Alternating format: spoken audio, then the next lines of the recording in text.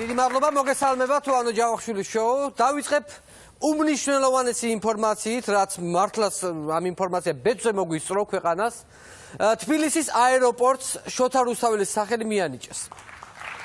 თურმე ამას არ ჩქარობდა თბილისის მთავრობა, მაგრამ თვითონ სტიქით დაზარალებულ მოსახლეობას მოუთხოვია ეს ყველაფერი. როდემდე უნდა იყოს უსახელოს ჩვენი აეროპორტი? ჩვენს დახმარების არქივი დროზე დაარქვით სახელიო თვითონ ამ თბილისის აეროპორტს, აი მართლაც რომ დროზე მოგვისწრო ამ. ვერაფრით მივხვდი რატომ დაარქვეს აეროპორტს შოთა რუსთაველის სახელი. ეთყობა ქვეყანა რომ აი ქაჯეთის ციხეს დაემსგავსა. ნელ-ნელა ალბათ ამის ბრალია. მალე ალბათ ახალი რეისების დაემატება თვითონ აეროპორტში თბილისი ხატაეთი გულანშარო, ჩეულებრივად ესეთი. ანდა მგზავრებსაც მოიმსახურებიან მაღალი უხიმ დაბალი სტიუარდესები თუ აი რაღაცა ესე აი ესეთი ფაზები შეიძლება ვისაუბროთ. სტიქით სტიქით დაზარალებულები უკმაყოფილოები არიან ძირფასო მეგობრებო. ჩვენი დახმარება ჯერაც არ დაუწყიათო და თავრობა ძალიან ნელი ტემპებით მუშაობს. ამით უკმაყოფილოები არიან. რატო უნდა იჩქაროთ თავრობა? მე არ მესმის რა აქვს საჩქარო? აბსოლუტურად არაფერი. ჯერ შეიქმნება კომისია რომელიც ზარალს აღწერს და გადააგზავნის საკრებულოში. საკრებულო მე განიხილავს და მე განსახილველად გადასცემს კომისიას კომისიას ხო გადასცემს შესაბამის კომიტეტს რაღაცას, კომიტეტი ჩაასწორებს და წარუდგეს მერიას, რომ უფრო კარგად ჩაასწოროს. ხო და წარუდგეს მერე ისე შეიძლება საკრებულოს წარუდგინოს დასამტკიცებლად. და ამასობაში გაიწელება დრო და შეიძლება ზარალის ოდენობაც კი შემცირდეს მერე. შეულებრივად იმიტომ რომ დრო ყველაფრის კურნალიაო ხო განივიათ. ხალხი ამბობს რომ ივანიშვილი დახმარებასო რომ დაგპირდაო. რატომ არ რატომ დუმსო ამდენი ხანია? გეხმარებათ უკვე ხალხო თქვენ რით ვერ გაიგეთ გეხმარებათ რომ დუმს ბიძინა და აღარ ამბობს სიტყვას ზოგი ჭირი მარგებელიაო ესე იგი უკვე გეხმარებათ ამით.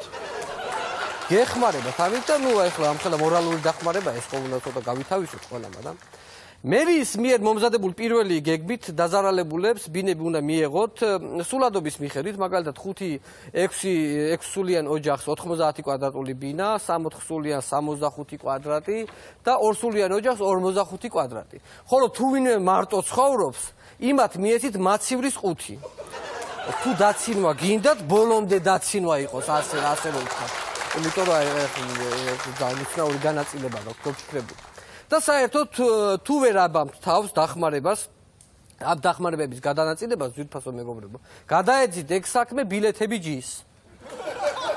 ერთ დღეში დაგილაგებ ყველაფერი დაწყობილია სისტემა და შეულებრივად არაფერი არ გაუჭირდებათ მაგრამ. დახმარების დაგვიანებაზე უცნაური კომენტარი გააკეთა გაბრაზებულმა დათონ არმანიამ. გინახიათ გაბრაზებული დათონ არმანია მე არა მაგრამ აი მოდით ნახოთ დოკუმენტი მზად არის და დევს მაგიდას. და ოპერატორი ისმის თქვენი მასშტაბის კალდადები რომ არის ყოველდღიური ფოტოში დაწერილი დროულად ის ზარალი რომ აი მას გაუგებია სამ კამერა გამოგდეთ არ ვაკეთებ ამაზე კომენტი. ბატონ დავით, კამერა რო გამოგვერთო, სტიქი ასაც კი ვერ გაიგებდით. ამიტომ ნუ ვთხოვთ მაგას. ეგ ფრაზა ეგრე არ უნდა გეთქვათ ბატონო დავით. ეგრე არ უნდა გეთქვათ. შეცდომა დაუშვით ძალიან დიდი. კაცი თბილისის მერი ხარ, ცოტა სვეცკურას უნდა გეთქვათ რა. გამორდეთ კამერა, აი რაღაც აი ცოტა რაღაც სახიობობა ხო შეიძლება არა? მერიასთან გამართა აქცია მოთხოვნით გადადგეს უპასუხისგებლო მერი. ესეთი მოთხოვნა იყო. ისე უპასუხისგებლო თუ არის რატო გადადგება? აი ხო ისმის უპასუხისგებლო თუ რატო გადადგება, ხო? გადადგებოდა პასუხისგებლობა რო გქონდეს, ხო? და ამიტომ შეცვალეთ მოთხოვნა რას ეგრე არ გები. დაფიქრდით ხალხო, რას ითხოთ? ვაი და მართლა გადადგან არმანია. ხო წაყვება მთელი მერია მერე მას. მთელი მერია ესე წაყვება. პროფესიონალი მამი და ბიძოლების და მაღალ კვალიფიციური ბიძაშვილი მამი და შვილების გარეშე ტოვებთ ამ ხელა ქალაქს. ამ ხელა ვებერთელა ქალაქს ტოვებთ ამის ამის გარეშე. ბიზნესმენთა პალატის ერთ-ერთმა წევრმა ბატონმა ემზარ ჯგერენაია წარადგინა ვერესხეობის აღდგენის პროექტი და განაცხადა რომ აქ თანამედროვე მანჰეტენი უნდა გავაშენოთ. თანამედროვე მანჰეტენი უნდა იყოს ეს ჩამწკრივებული ბიზნეს ცენტრები და ასე შემდეგ. აი ხედავთ, ზოგი ჭირი უკვე მარგებლის პოზიციაში გადავიდა ჩვენ.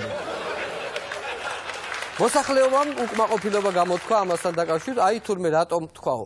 ბიზნამო ზოგი ჭირი მარგებელიაო. ესე იგი ეს ტერიტორია თავისი ბიზნესებისთვის უნდაო თვითონ ბიზნესო. ემზარჯ გენაია უპასუხო კაცო რა შუაშია ბატონი ბიზნაო კაცო. ეს გეგმა მხოლოდ ჩვენ გვაქვს.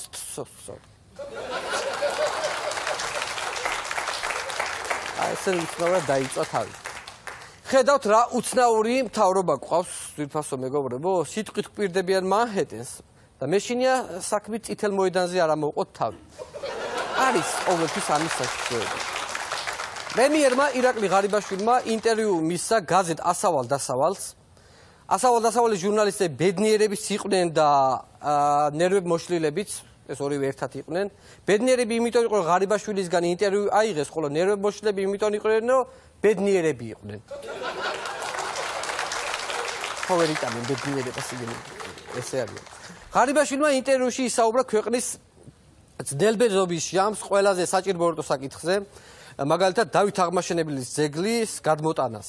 დავით აღო დიდი მეფის ძეგლი ისევ ძველ ადგილს უნდა დაუბრუნდესო. მართალია, რა უნდა მეფეს თბილისის შემოსასვლელში, მეფის ძეგლს რა უნდა თბილისის შემოსასვლელში. ის უნდა იდგეს კაზინოს წინ. სადაც სამეფო ადგილი არის, სადაც აი უნდა იდგეს კაზინოს წინ. ღარიბაშვილმა თქვა რომ თავის დროზე სააკაშვილმა უზნეობა ჩაიდინა ეს ძეგლიო გადაიტანა დიღომშიო. როგორ შეეხო იმ მეფის ძეგლს, რომელმაც საქართველოს გააერთიანაო. ყველა მტერი დაამარცხა და ხალხზე ზრუნვაში გაატარა ცხოვრებაო. კაცი თითქმის ბიძინა იყო. და ესეც ძეგლს რანაირად შეიძლება პრემიერმა ლარის გაუფასურებაზეც ისაუბრა, ლარის დაცემაო, ესეთი ყველაზე მთავარი ვის ვისაც ეხებაო, ეს არის უპასუხისგებლო ექსპერტების და ჟურნალისტების ბრალიაო ძირითადად, ეს ლარიო გაუფასურდაო. მართალი ხართ ბატონო ირაკლი, მაგრამ მთავარი მიზეზი გამოგრჩათ. მთავარი მიზეზი, ვისი ბრალია? უპასუხისგებლო ხალხის. ხალხის ბრალია ყველაფერი. რა უქნეს ლარს? ეს არაპროფესიონალი ერი. არაპროფესიონალი საიდან მოვიდა ვინადა? აი ეს კომენტარიც შეიძლება და გაგეკეთებინოთ. მართლაც რა კავშირი აქვს ახლა აქვს აქვს ლარის გაუფასურებასთან ტურისტების და ინვესტიციების შემცირებას. ახლა არანაირი კავშირი არ აქვს. გააცინე და მოიგიარის დასახული. გააცინე და მოიგე ლარის ჭარბი მასა რო ჩაუშვა არაბიძემ ხალხში. მაგიტომ აი ამან გამოიწვია ლარის ინფლაცია. აი ეს არის აი მაგის ბრალი. ხარებაშვილი რა თქმა უნდა პრეზიდენტსაც ისაუბრა, უნდა დატოვოსავლაბრის რეზიდენციაო. არ გვაქვსო დღესო ფუფუნებაში ცხოვრების უფლება. მართლაც რას გავს მარგველაშვილის საქციელი? ხალხი ასეც გაჭიროებაშია და ამ დროს ერთი კაცი ცხოვრობს ფუფუნებაში. ერთი კაცი, აი ფუფუნებაში ცხოვრობს. ეს იყო ხუმრობა ციკლიდან, ავლაბორო შენ გეუბნები, სოლოლაკო შენ გაიგონეო. არის ესეთი გამონათქვამი. ფუფუნებაში ცხოვრების უფლება არა გვაქვსო, არა აქვსო პრეზიდენტსო, თქვა პრემიერმა 70 კაციანი დაცვით და 30 მანქანიანი ესკორტით წავიდა კანცელარიაში და 180.000 ლარიანი ბატუტიან სატოზე გადაგორდა. ხალხს გაუკვირდა ასეთი განცხადება ღარიბაშვილმა როგორ გააკეთაო? აბა ხა ივანიშვილისგან, ხა ფუფუნება ფუფუნების დრო არ არისო. ივანიშვილს რო ეთქვა, უხერხული ნათქვამი იქნებოდა მართლა. მართლა, იმიტომ რომ კაცი ქვეყნის პირველი ფუფუნია და კაც ქვეყნის პირველი ფუფუნია და ეხლა რანაირად შეიძლება თქვას იგი. პრეზიდენტი ქართული ოცნების დეპუტატმაც გააკრიტიკა, პრეზიდენტი აპირებდა რაღაც კანონზე ვეტოს დადებას და ამაზე ერთ-ერთმა დეპუტატმა ძალიან უცნაური გამონათქვამი თქვა, ნახოთ ეს ვიდეო. ეხლა მაგათ უგონიათ, რომ ეხლა პრეზიდენტი თუ ვეტოს დაადებს, ეხლა და თქვენ ხარეს დადგება პრეზიდენტს ამორჩევლებით მოყვება ძალიან ის ერთი ამორჩეული ყავდა იმ კაცს.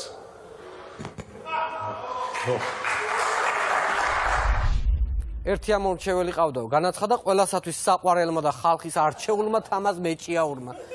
ყველა მავირჩიეთ თამაზი, ბატონი თამაზი თქვენი არჩეულია. ინტერვიუში ირაკლი ღარიბაშვილი ივანიშვილთან ურთიერთობასაც შეეხო და თქვა, რომ ბევრი ცდილობს, რომ ჩემსა და ბიძინას შორისო, რომ წყლის წყალი ამღრიოსო, მაგრამ არაფერი არ გამოუვათო. წყლის ამღრევის რა გითხათ ბატონო ირაკლი მაგრამ თხილად იყავით მაგ წყალში უცებ ვინმე ჰესი არ ჩადგას ვიცი ეს ესეთი ადამიანი შეიძლება თესოთ ახელებს ვიცი შეიძლება ჩადგეს თქვენ შორის ეს ამით ღარიბაშვილმა ინტერვიუ დაასრულა და ჟურნალისტს უთხრა რომ მეჩქარები ახლა უნდა გავიქცეო ბატონი ბიძინა მოშიებული იქნებაო და კვერცხი უნდა შეუწვა ხელის გულზეო და გაუჩქარო ძალიან საინტერესო თემა. აჭარის უმაღლეს საბჭოს დეპუტატმა მედია ვასაძემ განაცხადა, რომ ბათუმის საკრებულოს თავმჯდომარის მანქარი თურქეთიდან ნარკოტიკები შემოაქვთო.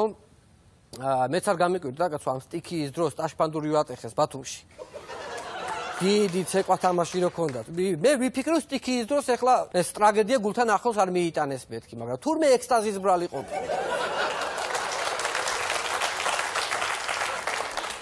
მე ალბათ ექსტაზი. ეკონომიკის სამინისტროს შენობა გაიყიდა 9 მილიონ ნახევრად და თქვენს რომ ამ შენობაში სასტუმრო განთავსდებაო. Ну მართალიც არის, რასაც ეს თავრობა ეკონომიკას უშრება. იმას სასტუმრო უფრო შეეფერება, ახლა სიმართლე გითხრათ. აიყვან 1 საათით ნომერში ეკონომიკას. ეკონომიკას გადაიხდი 50 დოლარს და მიდი, ჩვეულებრივად პრობლემა არ არის, არა მაგრამ. გამიკვირდა ასე იაფად რატო გაიყიდა სამინისტრო თქო სამინისტროს ეს შენობა მეთქი მაგრამ მე მივხვდი მე მივხვდი ამ შენობაში თვითონ დალიასული ამ ეკონომიკა ხო და ეთყობა დაწყევლილია თვითონ შენობა შენობა ახლა ჩვენ შოუს უკან დააფორმებს ბენდი სამურალე გოლი რომელიც ბანკოს